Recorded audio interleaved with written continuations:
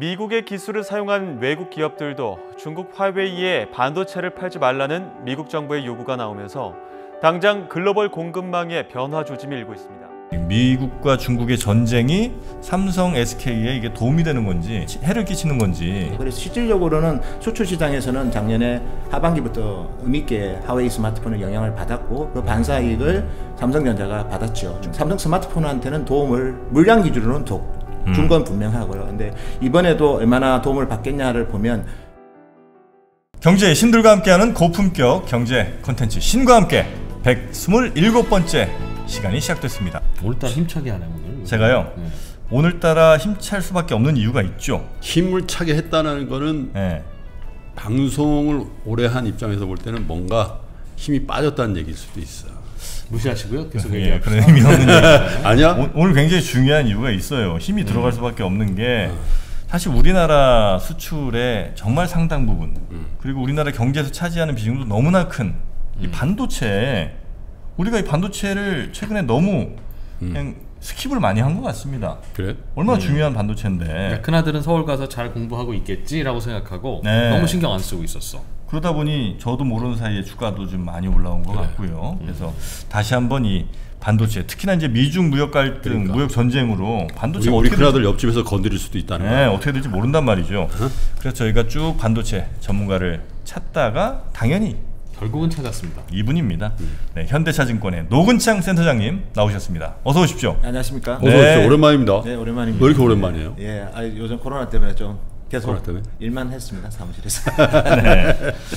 자, 우리 어, 센터장님 이제 오늘 진짜 중요한 날입니다. 아시죠?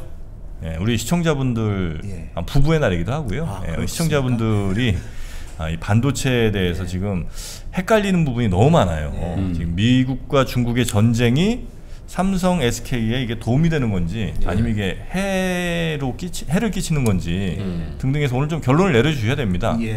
예, 아, 결론 가능합니까? 뭐좀 global supply chain이 많이 복잡하긴 하지만 네. 그래도 어느 정도는 아, 그렇습니까? 드릴 수 있을 것 같습니다. 음, 네. 저분이- 자 일단 그러면 노근창 센터장님께서 네. 지금 최근에 그 이슈부터 먼저 좀 짚어보죠. 예. 미국이 화웨이를 막 어, 수려가 죽일 듯이 네. 몰고 가고 있는 것 같은데 네. 지금 이 상황을 한번 좀 간단하게 좀 저희 알기 쉽게 설명을 좀 해주시면 좋을 것 같습니다. 예. 사실은 이제 화웨이에 대해서 한 번 더 말씀드리면 그 네트워크 장비 중에서 특히 이동통신 네트워크 장비 시장 1위 회사고요. 그렇죠. 그리고 서버 기준으로도 보면 4위 회사입니다. 음. 스마트폰은 이제 물량 기준으로는 2위인 회사고요. 그래서 전 세계. 예, 전 세계 2등인 회사죠. 그래서 나름 상당히 뭐 왜냐하면 네트워크 장비가 제일 어렵습니다. 사실 스마트폰은 누구나 다 만들 수 있지만 네. 네트워크 장비는 참 고도의 기술이 있어야 됩니다. 다만 돈이 잘 안 되죠. 왜냐하면 좋을 때만 좋고 나쁠 때는 힘들어하기 때문에 어쨌든 아. 그 하웨이를 작년에 5월 16일 날 미국에서 제재를 했죠. 하웨이랑 하웨이 계열사 70개 회사에 대해서 그 장 1년 전이에요. 예, 1년 전입니다. 네. 그래서 미국 기업들이 하웨이에 대해서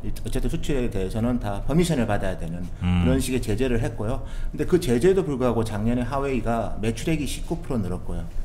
그리고 순이익도 이제 6% 늘었습니다. 그 제재를 한 거예요, 아니면 제재하는 척만 한 거예요? 제재를 실제로 한 이제 이제 실제로 해당이 되는 게 구글이고요. 네. 나머지는 다 풀어줬어요. 왜냐하면 작년 5월 16일에 제재를 하고 나서 네. 6월 29일에 오사카 에이펙 때 네. 트럼프가 이제 그 얘기를 했죠.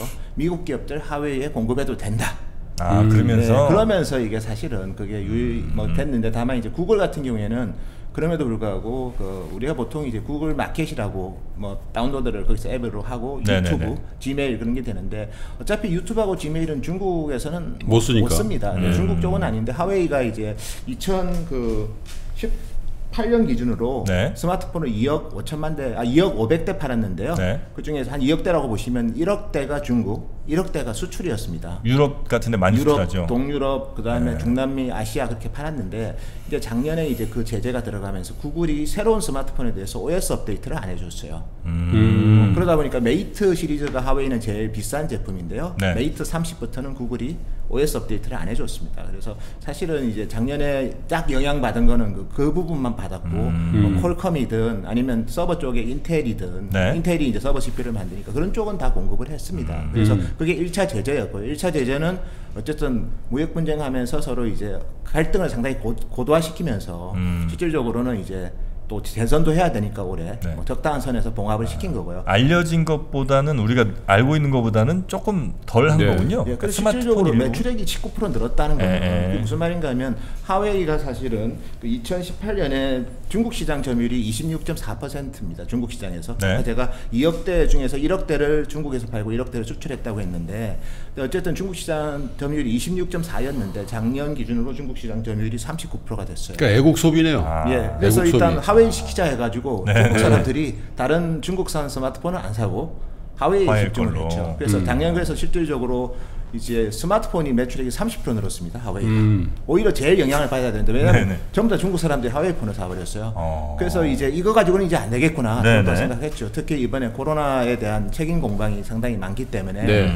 그래서 이제 이거 미국 햄- 하면 안 될 것 같고 음. 왜냐하면 그 미국 기업들 중에서도 보시면 뭐 퀄컴 같은 경우에도 AP를 만들지만 하웨이도 자체 자회사의 하이실리콘이라는 또 CPU 설계 회사가 있습니다. 그렇죠. 그래서 그 회사 같은 경우에 설계는 잘하는데 생산은 또 이게 첨단 공정이라서 네네. 뭐 예를 들어서 뭐 7나노 이런 제품들은 사실은 그 중국 기업들 중에서 파운드리 하는 SMIC라는 회사가 있는데요. 거기서는 14나노밖에 못 만들고 있거든요. 그것도. 매출 비중이 1%밖에 안 됩니다. 그래서 음. 이, 이렇게 해가지고는 제재가 안 되겠다 싶어가지고 아예 그냥 이제 아예 그런 AP까지 생산 못하게 하려고 음. 이제는 외국 기업들도 2차 제재의 가장 큰 특징은 음. 외국 기업들도 미국 기술을 사용했다면 하웨이에 공급할 때 이제 승인을 받아야 된다는 그런 내용이 2차 제재의 핵심입니다. 네. 거기 이제 TSMC를 겨냥한 건 거죠? TSMC를 필두로 해서 수없이 많은 기업들이 많아요? 왜냐면 미국 기업들이라고 우리가 보지만 반도체 장비에 또 특히 증착, 식각 이런 장비는 음. 미국 기업들이 글로벌 그렇죠. 1, 2등이 많습니다. 음. 예를 들면 뭐 저기 우리 어플라이드 머터리얼 거. 리서치 이런 회사들이 주로 미국 기업들이기 때문에 네네. 특히 이런 전공정 증착 식각은 우리가 노광은 뭐 ASML이 다 독점하고 있지만 네덜란드에. 네, 네덜란드 회사지만 음. 증착 식각은 미국 기업들이랑 또 일본의 도쿄 일렉트로닉이 있거든요. 이 3개사가 시장을 과점하고 있는데 음. 네. 어떤 반도체들 미국 장비를 안 사용할 수는 없죠. 거기다가 뭐 지적재산권 이런 것까지 치면 미국 원천 기술에서 자유로운 회사는 많지는. 거라고 그럼 삼성전자, 하이닉스도 다 걸리네요. 뭐 음, 강의로 해석해서 과거에 그런 것까지 한다면 뭐 걸릴 수도 있죠. 그래서 네. 동부부는 아직까지는 구체적으로 나온 건 없어요. 그렇게 개괄적인 음. 러프한 가이드라인만 줬기 때문에 그래서 지금은 이제 뭐 TSMC만 우리가 거론하는 거지만 실제로 다 파보면 음. 모든 반도체 기술은 다 연결이 됩니다. 자유로운 데가 별로 없군요. 예, 그래서 어, 저희가 봤을 때 작년에 1차 제재가 음. 하웨이 보고 이제 구글이 OS를 업데이트 안 해줬다는 말은 그거거든요. 네. 중국에서만 팔아라 스마트폰. 음. 괜히 나오지 마라. 왜냐하면 어, 우리가 많이 얘기했던 게 스파이 칩을 씹어, 심었다. 아, 네네. 뭐 예를 들면 그런 것들 해서 우리가 많이 얘기하면 음. 외국에서 이제 네트워크 장비를 통해서 정보를 혹시나 해, 그렇게 수집하지 않을까 개인 정보든 음, 국가 정보든 그것 때문에 이제 우려를 한 건데 중국에서만 판다면야 사실 아무 상관은 없죠 사실은 음. 그래서 작년에 이제 하웨이 제재는 사실 네트워크 장비는 좀 다른 얘기긴 하지만 스마트폰은 이제 구글 OS 업데이트 안 해주면서 네. 음. 최첨단 제품인 메이트 시리즈가 해외 수출이 안 되는 뭐 그런 음. 형태로 이제 제재를 했다면 2차 제재는 하웨이 죽어라 합니다. 어. 하웨이 너 이제 만들지 마. 왜냐하면 뭐 그런 첨단 그러니까 후진 회사로 만드는 거예요 하웨이를. 아. 예를 들어서 TSMC가 파운드리를 안 해주면 첨단 CPU가 없으면 음. 폰 자체가 두뇌가 멍청해지기 때문에 네. 고가 폰을 팔 수가 없어요. 음. 그러니까 중국에서도 메이트 시리즈든 P 시리즈라고 지금 팔고 있는 게 P40이거든요. 네. 이런 제품들도 이제는 이제 중국에서도 못 팔게 하는 게 이제 어떻게 보면 미국의 이번 두 번째 음. 제재의 가장 핵심이고요. 저가폰이나 팔아라. 예, 이 그냥 정도. 어, CPU도 이상한 거 너, 네. 너희 중국에서 SMIC에서 파운드리 하고 그리고 뭐 하이실리콘이 제조하는 아주 어떻게 보면 좀 약간 떨어지는 CPU를 탑재해 가지고 음. 정말 한마디로 형편없는 회사로 만들려는 거고요. 근데 네트워크 장비는 저희가 봤을 때는 좀 고민은 됩니다. 왜냐하면 그 5G 우리 기지국 장비 기준으로 봤을 때 1분기 하웨이 마켓시어가 한 35% 정도 됐거든요. 네, 에릭스- 3분의 1. 예, 그래서 정확하게 말씀드리면 30, 예, 5% 맞네요. 그리고 네. 에릭슨이 24%고 노키아가 20%고 그리고 음. 삼성전자가 한 10% 정도 되는데 실질적으로 이제 이 하, 하웨이가 어쨌든 간에 글로벌하게 이제 5G 장비 중에서 가장 특징은 뭐 성능은 되게 좋은데 가격이 또 되게 착하거든요. 네, 네, 네. 그래서 많은 국가들이 하웨이 장비를 많이 선호했죠. 뭐 국내에서도 우리 유플러스가 하웨이 음. 네, 장비를 네, 그렇죠. 뭐 쓰고 있고 소프트뱅크도 사실 하웨이 장비를 썼습니다. 근데 뭐 최근 들어서 이런 미중 간의 갈등 때문에 음. 소프트뱅크는 이제 뭐 에릭슨이든 뭐 이런 쪽으로 좀 바꾸려고는 하고 있고요. 그래서 네. 근데 만약에 하웨이가 이제 또 이 제재가 왜냐하면 이게 핵심 부품이 음. 우리가 모뎀도 있지만 미국 기업들만 또 하는 제품들이 있습니다. 예를 들어서 우리가 기지국에서 주파수를 증폭을 시키는 게 있어요. 우리가 전 파를 수신해 가지고 네. 모뎀에서 그걸 전환해 가지고 밖으로 또 다른 기지국이든 아니면 스마트폰을 보내주는 그런 증폭기가 있거든요. 그래서 네. 우리가 그걸 하이 HPA라고 합니다. 하리 그러니까 하이 파워 이제 amplifier라고 하거든요. 네. 그 제품은 미국의 코보랑 그다음에 스카이웍스가 과점적으로 만들고 있습니다. 음, 미국 회사만 예, 만드는 미국 거예요? 회사들이죠. 근데 걔들이 그걸 공급 안 하면 하웨이가 기지국 장비를 만드는 게 상당히 어렵습니다. 어. 예, 그래서 제가 봤을 때는 뭐 어쨌든 작년에 수없이 많은 제재가 있었는데 실질적으로는 제재에 동참한 거는 구글밖에 없었어요. 구글도 OS 업데이트 안 해주니까 결국 하웨이 제품 거의 다 중국에서 팔았고 물론 뭐 작년에 전체 기준으로 보면 하웨이가 작년에 수출 물량이 9,600만 대기 때문에 그러니까 작년에 중국에서 1억 4,400만 대 팔았고요. 수출 물량이 9,600만 대인데 그게 상반기에 5,500만 대 나갔고 네. 하반기에 나간 4천만 대는 뭐냐?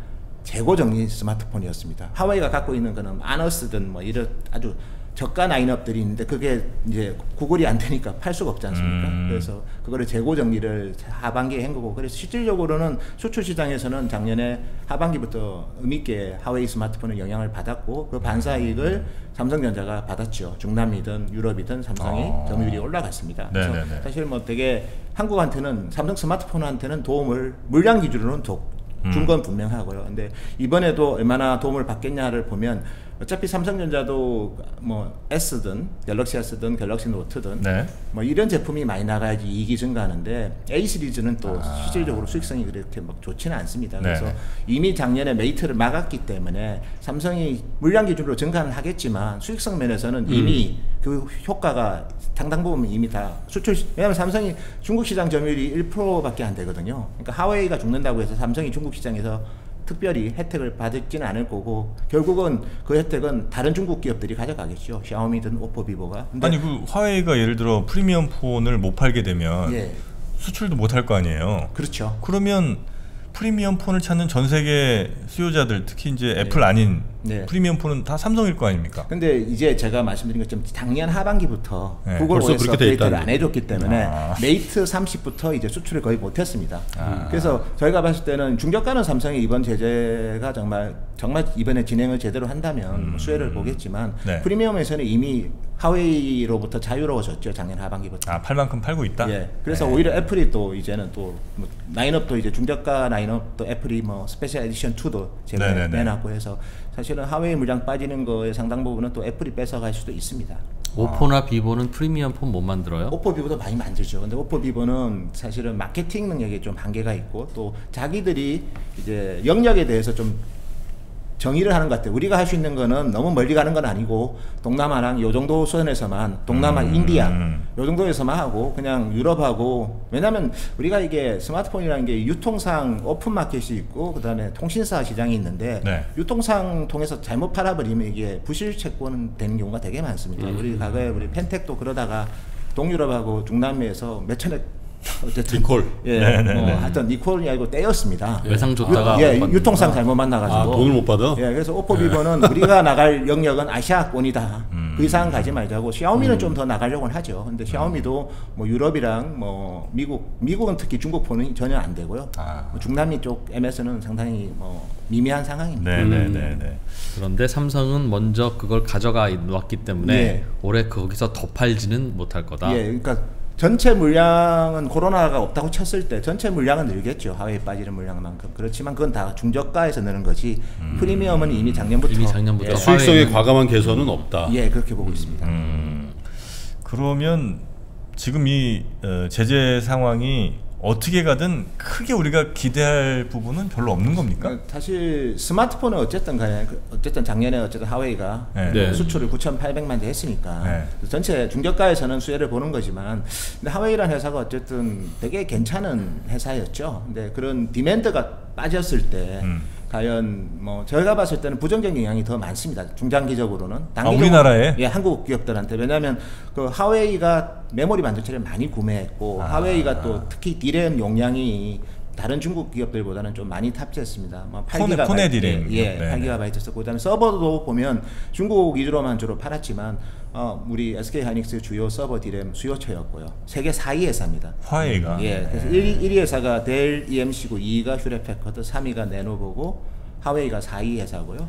그리고 실질적으로 이제 기지국은 좀 걱정도 됩니다. 하웨이가 기지국을 만약에 원활히 공급이 안 되면 사실은 5G에 대한 투자 속도가 늦어질 수 있거든요. 네네. 그래서 전체적으로는 IT 관점에서 보면 부정적인 게 훨씬 많고요. 음. 그리고 실질적으로 이제 하웨이를 가면 대체하면 되는 거 아니야? 다른 중국 기업들이 뭐 스마트폰에서는 대체할 기업들이 많이 생겨나겠죠. 음. 오포, 비보, 샤오미뿐만 아니라 또 하웨이와 유사한 회사가 나올 수는 있는데 이 기지국 장비는 사실은 중국도 보면 ZTE라는 회사가 있고 근데 ZTE도 블랙리스트거든요. 미국에. 아. 그다음에 이제 다탕이라는 회사가 있는데 다탕 같은 경우에는 뭐 중국 위주로만 주로 하니까 그래서 저희가 봤을 때는 그 기지국 장비에 대해서 만약에 하웨이를 저렇게 부품을 못 넣어서 기지국을 못 만들게 하면 그 대안이 나오려면 상당히 시간이 필요합니다. 그리고 지금 세계 3위의 네트워크 장비 회사가 이제 노키아 노키아인데요. 네. 노키아 네트워크스인데 노키아 네트워크스가 요즘 좀 안 좋아요. 그래서 음. R&D 능력이 과거보다 네. 많이 떨어져 가지고 아. 결국은 지금 그거에 대한 이제 수혜는 네. 에릭슨하고 삼성전자 음. 우리 시- 삼성전자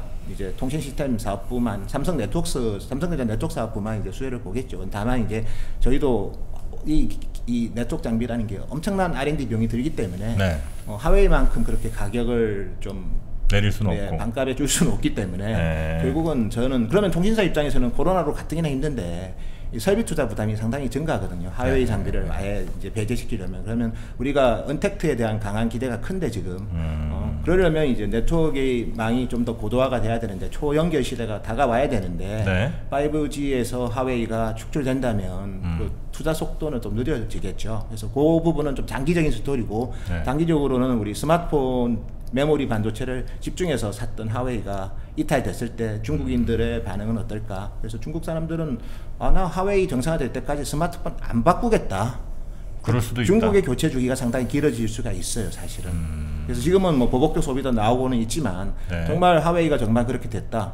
그러면 야 하웨이 거 저 문제가 해결될 때까지는 우리 스마트폰 사지 말자. 뭐 그냥 샤오미, 오포비 물론 그거 계속까지는 않을 거예요. 왜냐면 스마트폰은 한 2, 3년 지나면 바꿔야 되니까. 네, 어쩔 수 없이 바꿔야죠. 그렇지만 한 1년 정도는 마찰적 실업이라고 해야 될까요? 음. 교체 주기가 중국에서 좀 길어지는 그런 현상이 나올 수도 있습니다. 이건 뭐 저만의 상상이긴 하지만 네. 그래서 마냥 이거를 좋게 볼 수도 없고요. 그래서 실질적으로는 서버 그 다음에 스마트폰을 그렇게 많이 구매했던 회사가 멈춰버리면 사실은 공급 강이 올 수 있겠죠. 왜냐면 서버와 스마트폰에 들어가는 반도체 예, 그쪽이 공급 과잉이 올 수 있죠. 왜냐하면 capa보다 수요가 적으면 실질적으로 이제 공급이 많아지다 보면 서로 지금은 서버 디램하고 PC 디램이 가격이 뭐 아시겠지만 뭐 4월 달에만 서버 디램이 18% 가격이 올랐습니다. 그리고 PC 디램도 12% 올랐고 그래서 되게 이제 코로나 때문에 이쪽이 괜찮은데. 되게 좋은데 네. 근데 하웨이가 이제 투자를 못 하는 그런 상황이 돼서 서버 투자도 못 하고 스마트폰 구매도 못 하게 되면 결국은 나머지 애들이 서버 PC 디램을 위주로 그러니까 모바일 디램을 아예 안 만들겠죠. 음. 그러면 그것만큼 캡하는 서버하고 PC에 할당이 되면 네. 서버 PC 디램이 공급가액이 빨리 올릴 수도 있습니다. 그게 사실은 제일, 제일 큰 걱정이고요.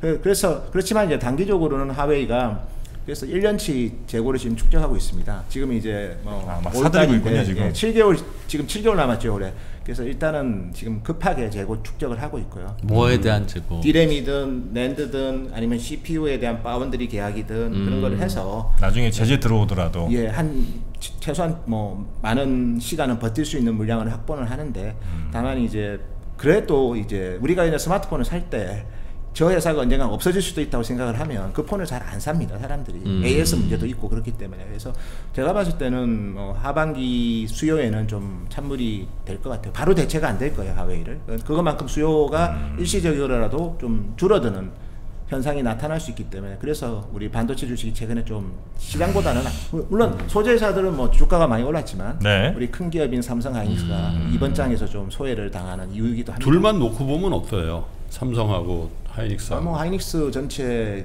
뭐 메모리 반도체 한 20% 내에 뭐 정확하게 저희도 뭐 하이닉스 공개를 안 하니까 저는 알 수는 없지만 한 20% 정도가 하웨이고 전체 저기 메모리 반도체 그 거래선 믹스에서 디램만 놓고 보면 특히 수익성이 제일 좋은 디램만 놓고 보면 뭐 한 30% 가깝다는 오, 그 얘기가? 있습니다. 그래서 네.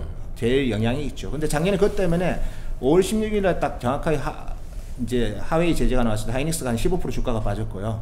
삼성전자는 이제 작년에는 어, 스마트폰 수혜가 더 클 수도 있겠다 해가지고 왜냐면 또 삼성은 하웨이에 또 메모리 반도체를 거의 안 넣습니다. 삼성이 하웨이에 넣는 거는 그 rigid OLED라고 해서 세계 뭐 market share 거의 독- 독점하고 있는 그 제품은 하웨이에 원래- 디스플레이. 예, 디스플레이 중에서도 rigid OLED를 주로 공급했고요. 네네네. 그다음에 이제 flexible OLED도 일부 나갔죠 작년에는. 뭐 BOE 물량도 일부 쓰긴 했지만 하웨이가 그래서 실제로 삼성 디스플레이한테는 하웨이의 이탈이 어쨌든 걱정거리였 걱정거리였지만 삼성 메모리 반도체는 하웨이가 별로 삼성 거를 큰안 영향 없다. 하이닉스랑 마이, 마이크론 거를 주로 썼거든요. 그래서 음. 두 회사가 영향을 받았는데 근데 결국은 이제 계속 미국 기업들이 제재 풀어달라고 작년에 계속 얘기를 했고 특히 퀄컴, 인텔 이런 회사들이 뭐 미국 정부에다가 하웨이 중요한 고객이고 좋은 고객이다. 음. 그래가지고 결국은 주가는 더 빨리 회복됐습니다. 네네네. 그럼 삼성은 뭐 크게 나쁠 건 아직은 별로 안 보이고 하이닉스는 조금 더 직접적인 타격이 있다 이렇게 예. 생각하면 지금도 되겠군요. 어떻게 보면 우스, 더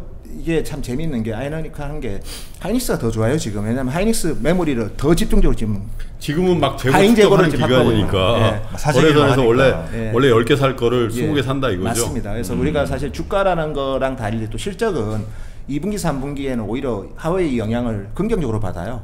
그러니까 9월 말부터 이게 적용이 되거든요. 음. 그 전에 만들 수 있는 물량은 최대한 많이 만들어서 타가고 있기. 때문에 아마 SK 하이닉스의 2분기, 3분기 실적은 아마 시장 컨센보다는 저는 좋을 음. 거라고 보고 있고요. 네. 삼성 같은 경우에도 뭐 디스플레이 쪽은 좀 일정 부분 하웨이가 선구매하는 효과가 좀 음. 긍정적으로 작용하지 않을까 그래 보고 있습니다.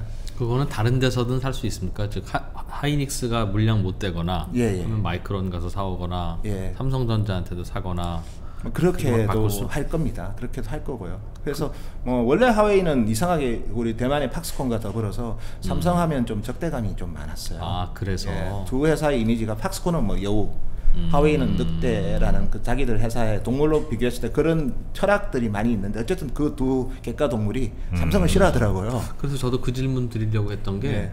어, 화웨이가 생산을 못하게 되면 당연히 수요는 주는데 예, 예. 화웨이가 누구 손님이었어? 하면 하이닉스 손님이었다 그러면 아유 하이닉스만 죽수는 건지 예. 아니면 하이닉스는 그럼 거기서 안, 안 산다고 하면 네. 다른 데 가서 맞습니다. 어 우리가 좀 싸게 드릴게요 해서 예. 가져올 수도 있고 예. 그러니까 뭐 삼선짜장이나 간짜장이나 그게 그거면 예, 예. 그런 시장인지 예. 아니면 아 이 고객 날라가면 우리는 우리 우리만 손해 봐 이런 시장인지 근데 궁금해서요. 결국은 이제 이게 디램이라는 산업이 이제 3개사가 과점하고 있기 때문에 음. 이제 하, 예를 들어서 하이닉스가 그래? 그럼 하웨이가 안 사면 이제 하, 샤오미랑 오포한테 좀 싸게 줄 테니까 가져가라 그러겠죠. 음. 네. 그럼 그게 market price가 돼버리는 그러겠죠. 거예요. 그래서 메모리 가격이 좀 그러니까, 저, 음, 그러니까 전반적으로 속도가 빨라져. 3사가 골고루 다운되면 다운된다는 예, 그래서 뜻이겠네요. 그 출하량에 어차피 스마트폰은 하웨이 폰을 뭐 없다고 해서 하웨이 제품만 10년간 기다리지는 않을 거예요. 분명히 2, 그러겠죠. 3년 내에 다른 제품 어, 사겠죠. 다른 중국 그러겠죠. 제품은. 어.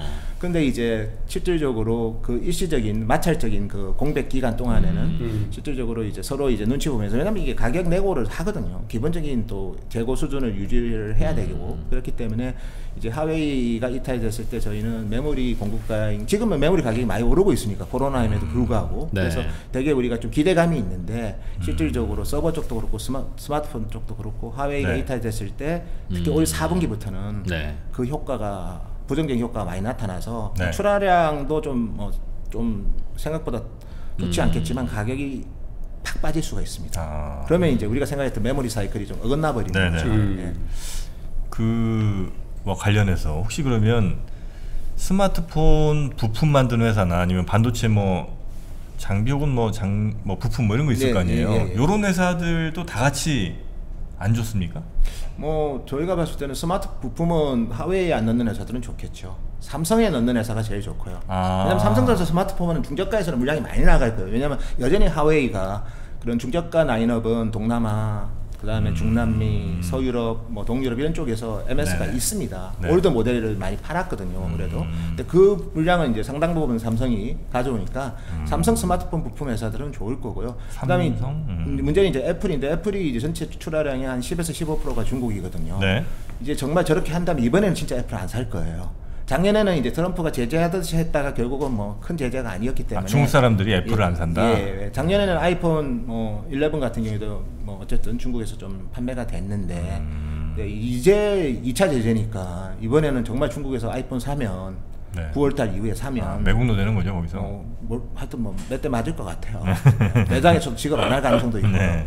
그래서 제가 봤을 때 애플 기업들 관련주들은 좀 영향이 있겠지만 다만 음. 애플이라는 회사가 워낙 또 이게 하웨이가 빠지는 것만큼 또 애플도 최근에는 special edition 2든 네, 네, 또 네. 내년에 또 유사한 또 중저가 모델도 내놓기 때문에 음. 어, 다른 지역에서 다 어느 정도는 만회가 될 겁니다. 휴대폰 시장은 변화 크겠는데요, 진짜. 10%가 애플인데 애플이 안 사면 예. 그 사람들은 뭐든 살 거 아니겠습니까? 그렇죠. 예. 특히 휴대폰 잘 바꾸기로 유명한 층일 텐데 예. 뭐 샤오미, 오포, 비보로 많이 바꾸지 않을까 그래 봤습니다. 삼성은 삼성은 중국에서는 예, 점유율이 이미 또 중국 음. 시장이 수익성이 되게 취약합니다. 그러니까 유통 마진이 되게 많이 가, 그러니까 유통상들이 마진을 많이 챙겨가기 때문에 네. 제조업체 입장에서는 그렇게 수익성이 좋은 시장은 아닙니다. 근데 이제 실질적인 제재냐 이렇게 보는 시각도 있는 것 같아요. 왜냐하면 9월부터잖아요. 그러니까요. 근데 선거가 11월 3일이거든. 예. 그러니까 사실 9월 기준으로 하면 한 달 반 정도밖에 예, 시간이 맞습니다. 없어요. 예. 그러니까 사실 어차피 누구나 다 있지만 지금 하이를 때리는 거는 작년에는 무슨 무슨 칩을 심었다 그랬는데 지금 그런 얘기는 하나도 없잖아. 그렇죠. 무슨 그때는 정말 심각했어요. 스파이 칩 네네네. 심어가지고 미국 다 빼간다. 뭐 네. 사실 그래서 제재 들어간 건데 네. 지금 1년 동안 뭐 칩 얘기는 한 번도 나온 적이 없고 음. 근데 지금은 이제 코로나 19에 대한 내치의 실패를 에, 중국으로 화살을 돌리기 위해서 한다. 그러면 네. 에, 11월 3일 날 선거에 이기기 위해서 하는 거니까 실제로 그 전에도 무슨 상황의 변화가 있을 수 있으나 맞습니다. 예. 선거가 끝난 다음에 미국 기업들 다 죽겠다 그러는데 예. 인텔, 퀄컴 뭐 다 그럴 거. 아닙니까? 예, 예. 그래서 이게 실질적인 이거 아닐 것 같은데 근데 정말 좋은. 지적이십니다. 네. 그래서 이게 4개월, 121일간 유예 기간을 유예를? 줬잖아. 그러니까 유예 기간 뭐 작년에도 주긴 했지만 하려면 바로 길- 해야지. 좀, 좀 길고. 예. 그래서 사실은 또 9월 말 정도, 10월 초부터 적용이 된다고 하면 재, 재선 딱 끝난 타이밍 한달 정도 거든요. 그러니까요. 근데 그 물량은 그 재고는 이미 지금 다- 다, 다 있잖아요. 확보했기 때문에 네. 뭐 극적으로 합의가 될 수도 있습니다. 그래서 사실 이런 뉴스가 나오면 하이닉스 주가 팍 빠져야 되거든요. 작년은 제가 이 나오자마자 15% 빠졌습니다. 하이닉스가. 맞아요. 지금 빠지지도 예. 않아요. 예. 하이닉스도. 왜냐하면 이 트럼프와 관련된 이런 제재가 시- 실현 안 되는 경우를 이미 우리가 경험했지 않습니까? 예. 할듯 하다가 결국은 뭐, 뭐 어쨌든 거기다 트럼프 떨어질 수도 있고 예 그렇게 되면 뭐 네. 좀 변화가 생길 수 있고 그리고 사실 미국 기업들도 피해를 많이 보고 또 음. 중국의 어떻게 보면 정치적인 뭐 그런 부분을 또뭐 물론 하웨이가 국- 국영 기업이라고 대부분 믿고 있으니까 뭐 지분 같은 것도 안 나타나고 하니까 비상장이고 그렇지만 또 기업한테까지 이걸 또 전가하는 거는 음. 딱 블랙리스트에 넣어놓긴 했는데 뭐 특별하게 또 잡혀 있는 것도 네이다에서 막 걸린 것도 별로 근거도 약하고 해서 음. 그리고 GT야 그렇게 할 수도 있죠. GT야 음. 작은 기업이니까. 근데 하웨이는 워낙 큰 기업이고 미국들 미국 기업들도 되게 피해가 많고요. 또 하웨이가 또 캐나다 이런 쪽에는 되게 기부도 많이 했습니다. 대학교에 기부도 많이 해가지고 캐나다 같은 경우에도 보시면 뭐 특히 밴쿠버나 이런 데 가보면 중국 인들 되게 많거든요. 중국 사람 판이죠. 예, 그래서 사실은 그런 식의 좀뭐 지역별로 좀 더 그런 반대하는 움직임도 많습니다. 그래서 뭐 저희가 봤을 때는 120일 동안에 해소 해결될 가능성도 있기 때문에 지금은 지켜보는 게 맞습니다. 다만 지금은 그래서 단기적으로는 오히려 하웨이 가수요가 붙어가지고요. 음. 코로나 영향 때문에 좀 어, 부정적이야 되는데 오히려 가수요 효과가 더 커서 네. 2분기, 3분기는 뭐 실적은 나올 거예요. 다만 이 주가는 실적보다는 미래를 보고 센티멘트도 중요하기 때문에 센티멘트에는 좀 뭔가 하나 큰 어떻게 보면 좀 저지선이 하나 생긴 거는 맞죠. 예. 음. 그렇지만 하- 바로 하락하긴 힘든 게 아니 120일 동안에 바뀔 수도 있고 네네네. 또그 사이에 또 올해 만들 부품 재고를 다 음. 축적해 놓으면 또 우리 뭐 프로님 김 프로님 얘기대로 재선 끝나고 나서 음. 그런 게 또 해결이 될 수도 있거든요. 네네네. 작년 같은 일이 생길 수 있죠. 인텔 콜컴이 계속해서 요구하는 거예요. 저 좋은 기업을 왜 자꾸 막냐 그런 식으로 할 수도 있습니다. 안 그래도 글로벌 수요도 죽어 있는데. 예 맞습니다. 예. 혹시 그 중국에서 만약 이런 제재들을 이제 받다 보면 야, 언제까지 우리가 이거 저 반도체 수- 수입해서 이렇게 불안하게 갈 거냐? 음. 우리도 만들자. 예. 그래서 이제 뭐 기술자들 많이 빼온다는 얘기도 뉴스로 좀 심심찮게 들리는 것 같고요. 예, 예. 그리고 또 아까 말씀하신 SMIC인가 거기도 뭐 예. 어마어마한 돈을 좀 투입해갖고 네. 뭐 칠라면 오나노 한번 가보자. 근데 만약에 그렇게 한다고 하면 할 수는 있습니까? 아니면 그거는 좀 제가 그래서 중국의 메모리 굴기 때문에 저도 중국을 여러 번 갔습니다. SMIC는 뭐 메모리는 아니지만 뭐 상장된 회사가 거기. 없었기 때문에 일단 방문도 해봤는데 여전히 좀 많이 떨어지는 것 같아요. 아, 그리고 그래요? 이제 우리 반도체가 참 그런 게 간- 반도체는 가짜를 쓰면 안 돼요. 가짜? 질 떨어지는 제품이거나 해적판이 아. 없어요. 반도체는 진짜를 써야지 아무리 나쁜 제품도 좋아 그렇지. 보이거든요. 반도체는 반도체 가짜는 없다. 짝퉁이 어디 있어 예? 반도체 짝퉁을 쓰는 순간에 그 이거, 제품이 이거 안 헤드라인으로 됩니다. 하면 되겠다. 반도체는 가짜가 없다. 예, 그래서 제가 봤을 때는 그러면 뭐 디램 같은 경우에 우리 중국에 보면 푸젠 진화랑 그다음에 그 X, 우리 CXMT라고 창신 메모리라고 있거든요. 예. 거기가 이제 디램을 개발했다는데 제가 창신 메모리 관련해서는 작년 11월에 대만 갔을 때도 어, 자기들은 개발했다고 막 뉴스 뜨고 그랬는데 네. 샘플을 받은 데가 없더라고요. 아. 샘플 테스트도 안 했는데 그건 개발이라는 거는 좀 뭐, 그래서 왜냐면 중국 기업들도 지금 특히 반도체 회사들 많이 힘드니까 음. 펀딩을 많이 하거든요. 네. 펀딩용이라고 저는 디램은 보고 있고 YMTC라고 해서 우리 우한에 있는 회사가 있습니다. 네. 우한 왕 양쯔강 바로 앞에 있는 공장을 또 가보셨구나. 지금- 예, 그럼 가보진 않았습니다. 우한은 네. 제가 갈 기회는 없었는데 근데 왜냐면 다 비상장이라서 가보셨으면 제가 지금부터 방송 중단하고 예.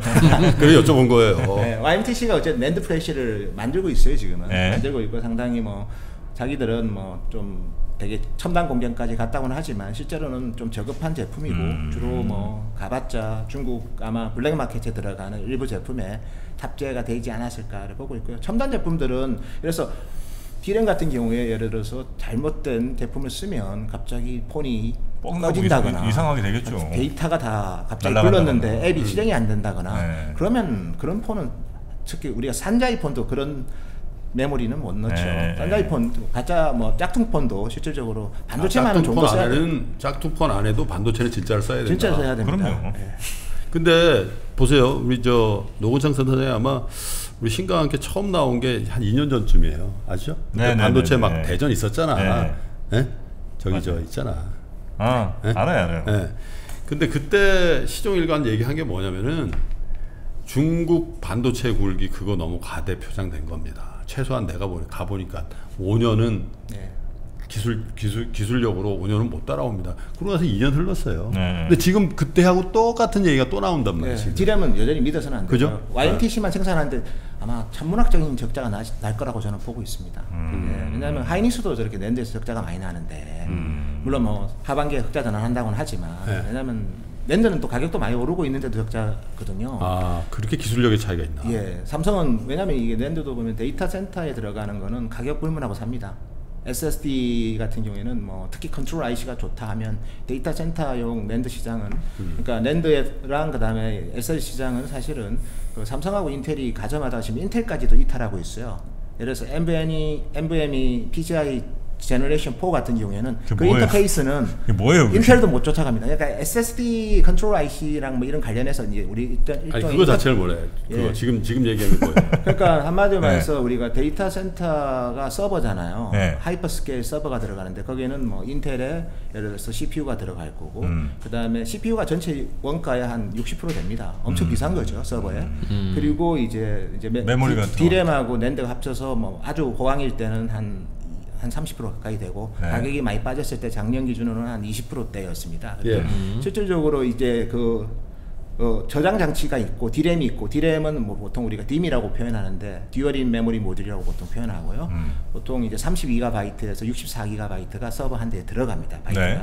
그리고 이제 낸드 같은 경우는 뭐 테- 테라도 많이 들어가죠. 근데 음. 그 어쨌든 그거 제품 같은 경우에도 지금 보면 왜냐면 이게 우리가 데이터 센터라는 게 결국 이제 빅데이터를 통해 가지고 음. 어떻게 보면 AI를 구현해야 되잖아요. 네. 그래서 상당히 많은 어, 정보가 들어가 있어야 됩니다. 음. 그 정보가 저장돼 있는 게 SSD라고 보통 저희가 표현을 합니다. 쉽게 생각하면 하드디스크 같은 건 거죠? 하드디스크를 대체한 거죠. 예, 하드디스크가 예. 자기장 테이프로 만든 네, 거라면 네, 네, 네. 이거는 낸드 플래시랑 그다음에 컨트롤 IC랑 또 일부 디램도 들어갑니다. 메모리 카드 같은 거 뭐, 그런, 그런 느낌 아닙니까? 그거 그뭐 그렇지만 좀 크긴 하죠. 네, 그보다 크지만 예, 예. 네. 그래서- 낸드가 거기 들어간다. 예, 거기 들어가고요. 예. 그래서 그런 쪽은 낸드 자체의 경쟁력도 있지만 컨트롤 IC 경쟁력이 네. 제일 중요합니다. 왜냐하면 데이터를 빨리 부르고 빨리 읽고 네. 써야 되는데 예. 컨트롤 IC가 후지면 그거 데이터를 빨리 못 불러들이면 그- 낸드랑 살 때는 묶어서 팔아요? 예, 같이 팝니다. 같이. 아 그래서, 하이닉스 낸드는 비싸게 못 판다. 예, 왜냐하면 컨트롤 IC 기술이 데이터 센터 쪽으로는 있는 회사가 삼성하고 음. 에, 저기 인텔밖에 없거든요. 물론 네네. 뭐 우리나라에 또 파두라는 기업이 있습니다. 되게 최근에는 뭐 되게 로컬,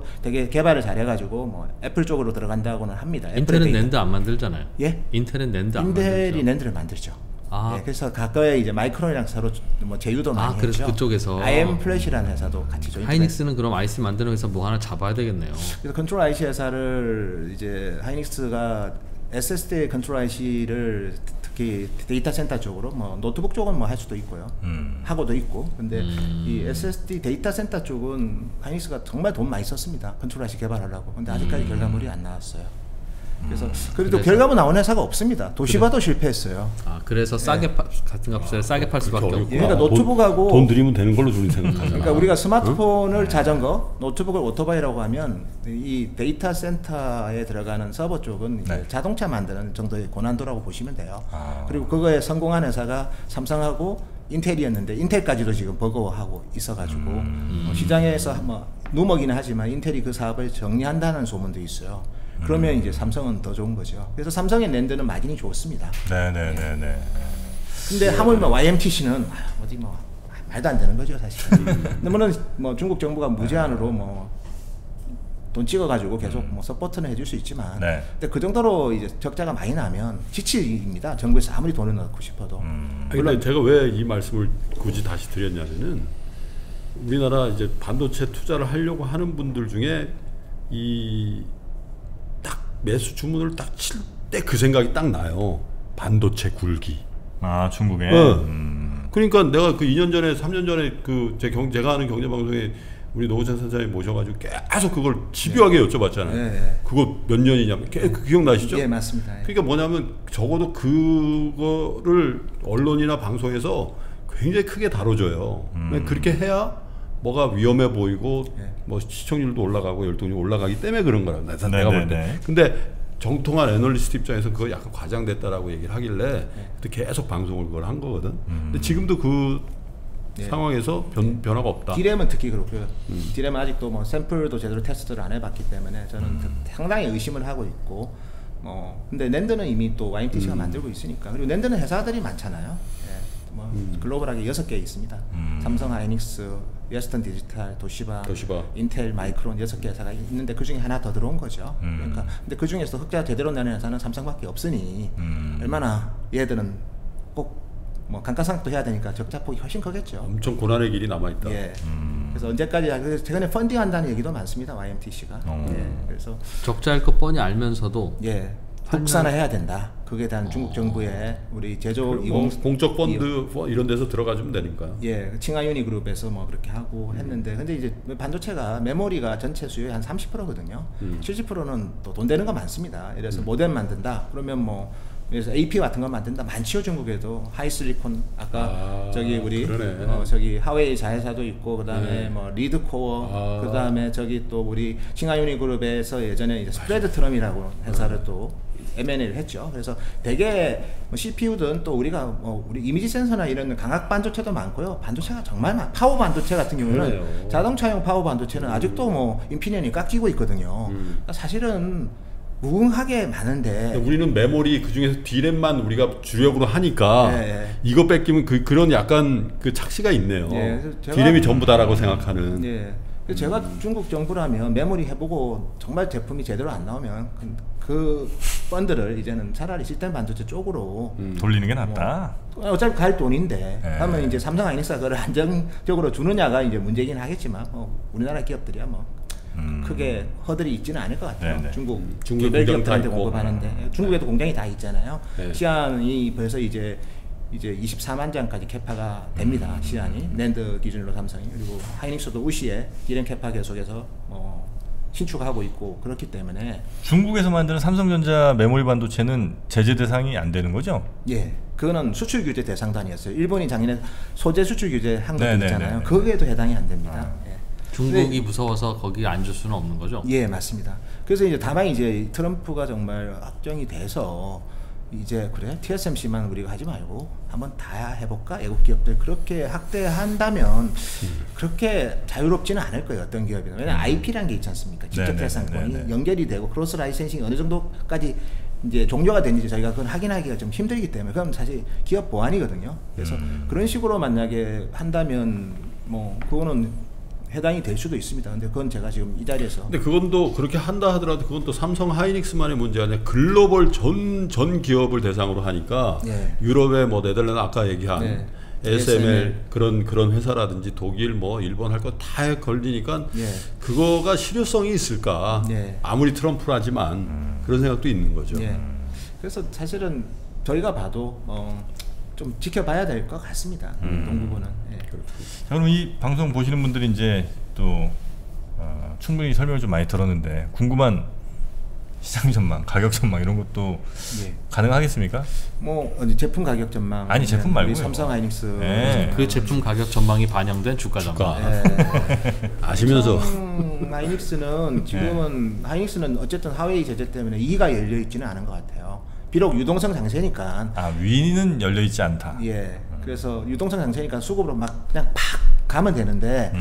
사실 그러기에는 이 하웨이 이슈 때문에 위가 열려 있지는 않고요. 네. 예. 그래서 이제 삼성전자는 그래도 조금 자유로운 것 같아요. 물론 뭐 메모리 가격이 빠져버리면 네. 음. 삼성도 같이 영향을 받으니까 그렇지만 하이닉스보다는 조금 유리하죠. 왜냐하면 스마트폰 가지고 또 할 것도 많고 음. 또뭐 앞으로 또 통신 장비도 예, 예, 네트워크 장비도 그렇고 또 뭐 특히 foldable 폰도 또 드라이브도 네네네. 많이 걸 거고 해서 뭐또 메모리 반도체도 가격 떨어진다고 해서 삼성 마진이 또 다른 기업하고 또 같이 떨어지는 않습니다. 삼성 마진은 그 떨어지는 속도가 조금 완만한 게 네. 아까 말했던 control IC나 이런 좀 첨단 그런 자기만의 음. 방어막들이 많기 때문에 이 사태에서는 삼성전자가 좀 낫죠.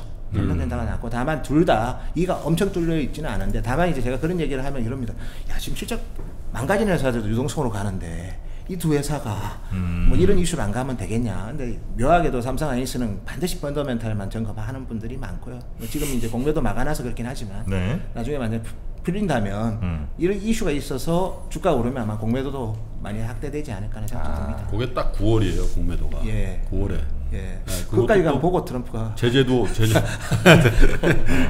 제재도 9월이고 네. 만약에 제가 반도체 업체에 제가 투자를 하고 싶다고 하면 삼성전자, 하이닉스, 마이크론. 마이크론, 어, 어디에 투자하는 게 좀 더 현명한 저는 삼성전자 투자하는 게 맞다고 아, 봅니다. 그렇습니까? 예. 그리고 지금은 그래서 이 반도체 주식은 이제 9월이니까 최소한 뭐 한 지금은 워낙 유동성 강세라서 저도 말 왜냐면 그렇게 했는데 또 우리 또 시청자들은 또 그렇게 나쁘게 말했는데 주가는 막 왕창 가네 그렇게 또 그런 일이 또 왜냐면 그래 9월 말에 있을 일을 왜 벌써 고민하냐 해서 그렇죠. 단기 랠리가 또 나올 수도 있어요. 아 그렇죠. 뭐 지금 10월 11월에 뭐 뭐 뭐 북반구에 다시 글로벌 2차 팬데믹 wave가 온다는데 예. 지금 장세만 보면 그건 그때 일이고 그거 예, 아니에요. 예, 그래서 그리고 네. 또더 실적 망가지는 기업도 주가가 저렇게 맞아요. 많이 오르는데 그래서 너무 겁먹을 필요는 없는 것 같아요. 지금은 다만 이제 8월 되면 좀 긴장을 하시는 게 맞고요. 그러니까 네. 2분기 실적 나올 때까지는 좀좀 너무 두려워할 필요도 없고 근데 2분기 실적 나오는 어 어쨌든 7월 말부터는 조금 동부분을 좀 더 접근하셔서 왜냐면 지금 유동성으로 가서 말도 안 되게 valuation 나오는 기업들이 많거든요. 네네. 근데 그런 기업보다는 확실하게 fundamental이 나오는 기업이기 때문에 보유 물량 자체를 이제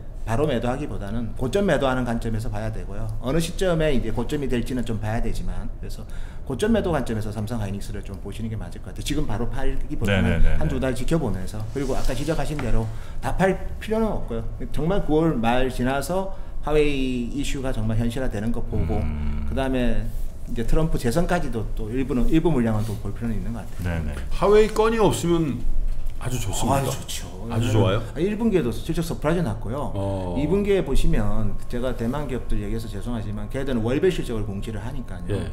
디램 회사 중에서도 상당히 좀 마이너한 기업 중에 난야텍이 있고 윈본드가 있는데 예. 4월 실적이 매출이 다 5% surprise? 늘었습니다. 5%씩 늘었습니다. 3월보다. 이유는 이유는 가격이 올라서 그렇죠.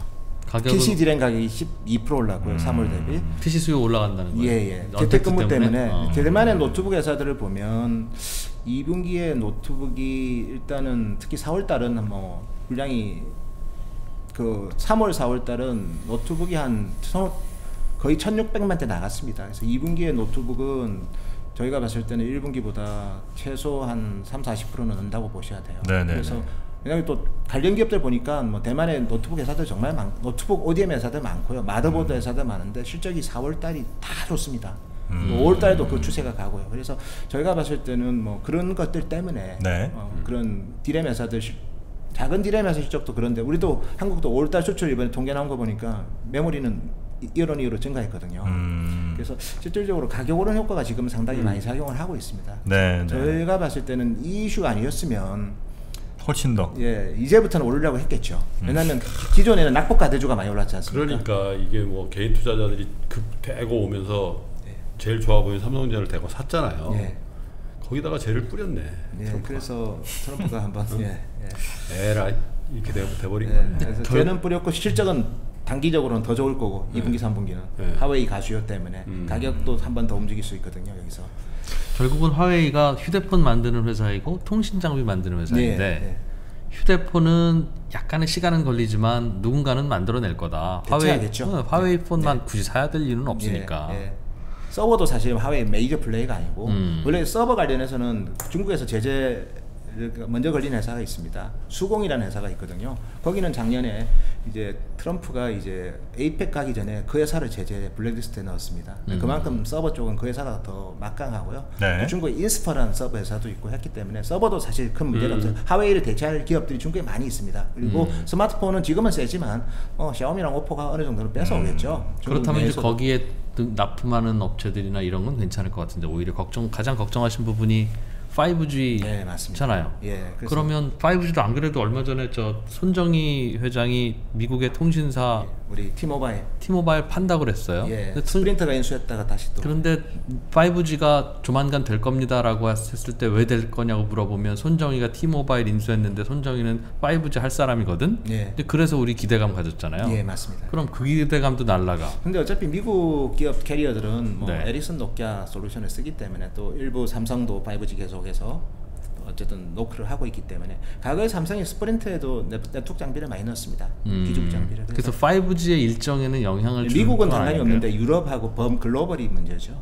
근데 최근에 이제 또 영국 보다폰도 이제 하웨이 안 쓰겠다. 왜냐면 이번에 사실 묘하게도 이 코로나 때문에 유럽도 중국에 대한 적대감이 많이 생겼습니다. 아 정서적으로. 예, 그래서 어, 보다폰 같은 경우에도 이제 안 쓰겠다 하웨이 거 그렇게 네, 하는 네. 상황이고 그러니까 안 쓰면 비싼 장비를 써야 되고 비싼 장비 쓰려면 계산기도 들어보면 투자 두 배 정도 나오겠죠. 네, 투자하는데 돈이 없고 예. 그러면 안 그래도 도- 코로나 때문에 돈 없는데 투자를 지금 꼭 왜 해야 되냐라고 그렇죠. 생각하면 우려하는 게 그겁니다. 계속 일정이 미뤄질 요인들만 많아지면 예. 문제는 반도체 회사 걱정할 게 아니라 예. 5G 관련 장비는 거긴 납품 못하면 제로잖아요.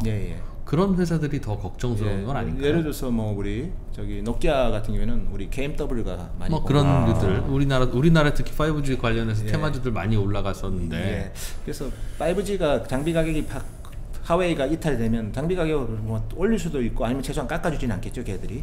그냥 걔들은 어, 그거로 뭐 먹고 그- 사는 뭐 회사니까. 그렇겠죠, 당연히. 그것만 하기 때문에 음. 물 들어왔을 때 절대 뭐 노를 져야 됩니다. 돈을 제대로 그 화웨이 통신 장비를 네트워크 장비를 못 쓰는 거는 안 사줘서 아, 그 화웨이를 사주지 말라 그래서 뭐- 아니면 못 만들어서 왜냐하면 하웨이가 아까 제가 말씀드렸던 HPA라는 아못 만들 수 예, 있다. RF 그 앰프가 있거든요. 그거는 코버하고 스카이워스가 거의 기지국 쪽은 네. 독점적으로 만들고 있기 때문에 네. 걔들이 공급 못하면 뭐 주- 주파수를 아, 못 쏘기 못 때문에 만든다? 기지국 장비가 무용지물입니다. 아무리 좋은 뭐 기술이 있어도 그 음. 아날로그 기술이 없으면 그게 정말 필요 없는 음. 박스가 되기 때문에 제가 봤을 때는 뭐 그렇게 제재가 가버리면 아마 네, 네, 네. 5G 유, 그 확산 속도가 늦어질 것 같아요. 미국이야 뭐 스케줄대로 가겠지만 음. 나머지 국가들은 상당히 늦어질 가능성이 네. 있습니다. 네.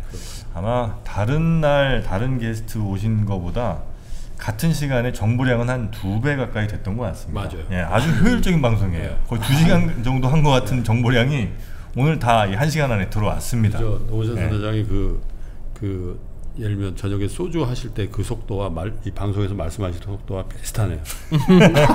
소주도